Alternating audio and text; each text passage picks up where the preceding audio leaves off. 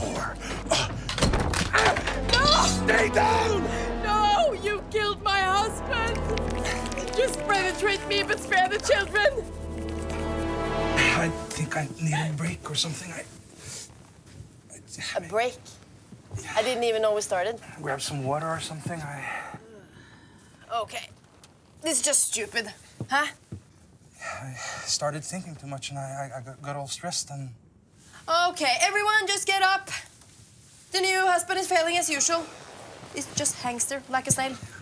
I'm really sorry. It just, as I said, I'm, I started thinking too much and then forgot to feel and, and I got all stressed and I mean, everyone here at the farm is doing everything they can to accommodate you, and it still isn't enough.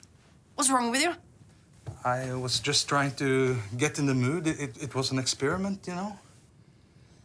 I know that your sexual experience only consists of brute force and rape. So why this isn't good enough? You really have to explain. Well, you know, with them it was. Uh, they meant nothing to me. So, and with you, we are married, and and I suppose we're very well. We are very much in love, and uh, and I think you're so pretty, and That's really sweet. you think so? yeah, You wanna know what I think? I think it's extremely embarrassing for everyone.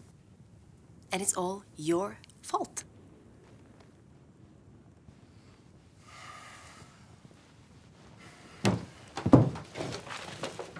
You're not running off to the archery field, Arvid.